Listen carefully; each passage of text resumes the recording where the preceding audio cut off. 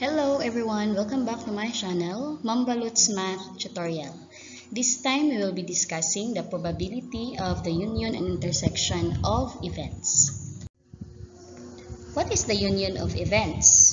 The union of events A and B denoted by the symbol A, U, B consists of all elements that are in A or in B or both in A and B. So our keyword here is the word or. So if you find the word or, it signifies that it is a union of events. How about the intersection of events? The intersection of events A and B denoted by the symbol A, inverted U, B, consists of all elements that are both in A and B. So the keyword for the intersection is the word AND. So if you find the word AND, it signifies that it is an intersection of events. How about the complement of an event?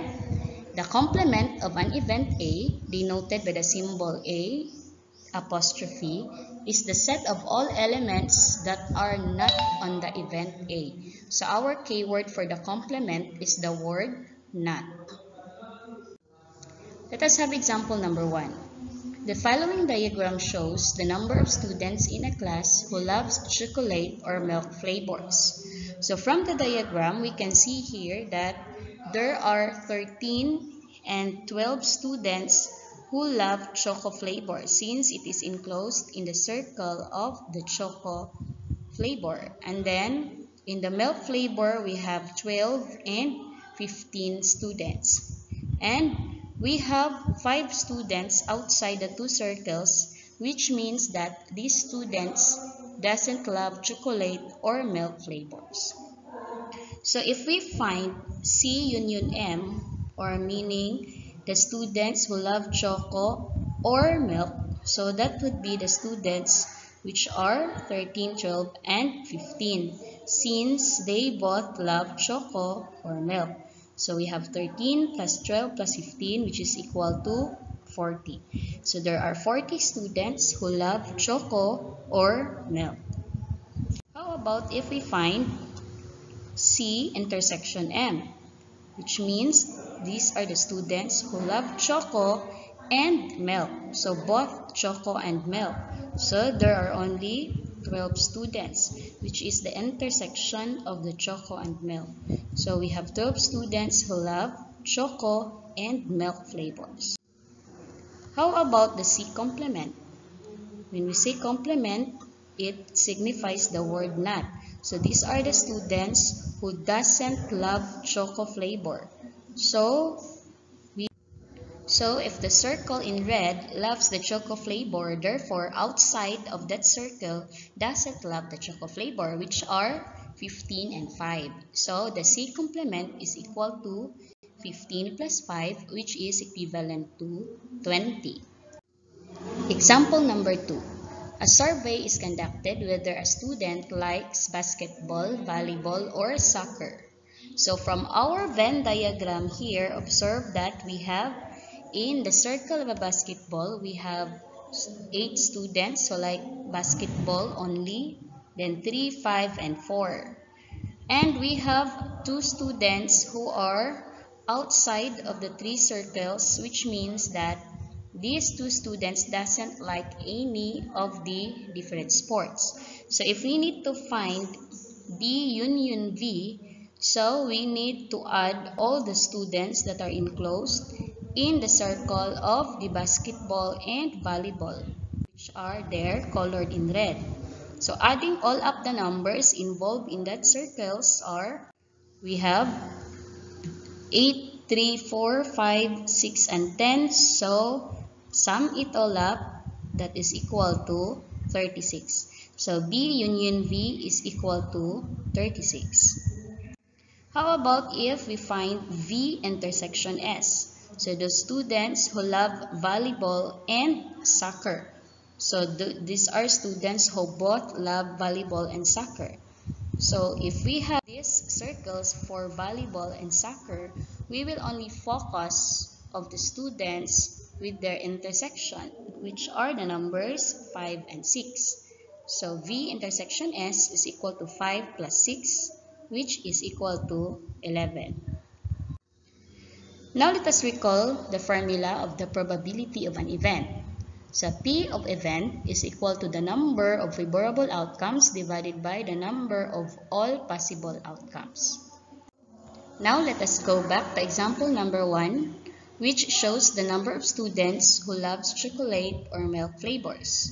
So question number 1. If a student is chosen, what is the probability that a chocolate lover is picked? So if we have this circle for the chocolate lover, so following the formula now of our probability, so the probability that a student loves choco would be 13 plus 12, which involves in the choco circle, divided by all the numbers in the diagram, which are 13, 12, 15, and 5. So that would be now equal to 25 over 45 which can be reduced to 5 over 9. So we have 5 over 9 probability that a student chosen loves choco flavor. Question number 2. If a student is chosen, what is the probability that a chocolate and a milk lover picked? So since we have the word and, so we are referring to the intersection of the two sets. So the probability now of C intersection M would be 12 over all the numbers in the diagram. So we have 12 over 45 which can be reduced to 4 over 15.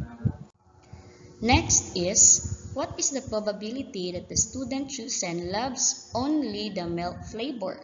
So since we are referring to the word only, so we will not include the number of students who loves milk and also loves choco. So we are only referring to 15. So therefore, the probability of having milk only is 15 over all the numbers in the diagram. So we have 15 over 45 which is equal to 1 third.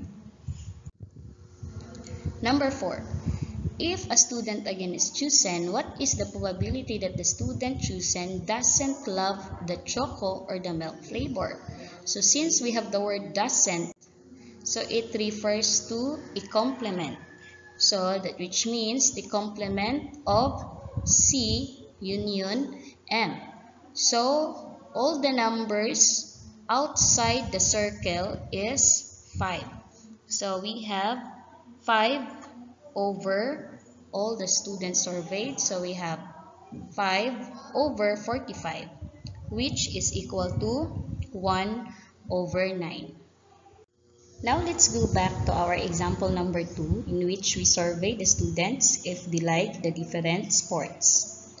So question number 1. If a student is chosen, what is the probability that the student chosen likes basketball or soccer? So since we use the word or, so we are referring to the union of the basketball and soccer.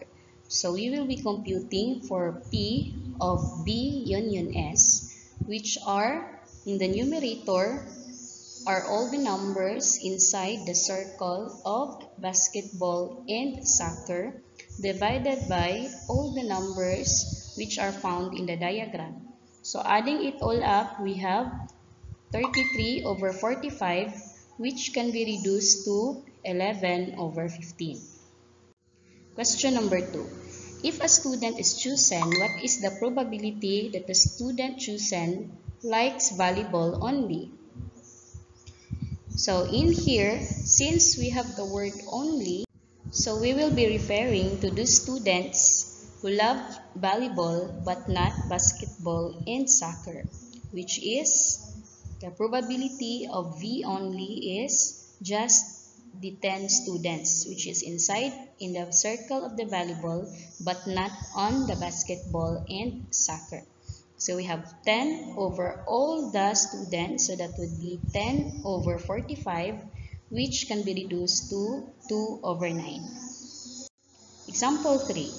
If a student is chosen again, what is the probability that the student chosen likes volleyball and soccer? So since we use the word and, so we are referring to the intersection of sets. So we have to find the probability of V intersection S, which are the numbers inside the intersection of the circle of the volleyball and soccer, which are 5 and 6. So that would be now 11 over 45. And question number 4. If a student is chosen, what is the probability that the student chosen doesn't like basketball or soccer? So again, we use the word doesn't, so it implies that it is a complement. So we need to find the probability of the complement of B union S. So we will be referring to the students outside the circle of the basketball or soccer. So that would be the students which loves volleyball and the students who doesn't love any of the sports. So we have 10 plus 2, which is now equal to 12 over 45 and can be reduced to 4 over 15. Now it's your turn to answer your activity sheets. I hope you learned something from what we have discussed today. Please don't forget to like and subscribe. Thank you so much for listening. At your service, Ma'am Balot.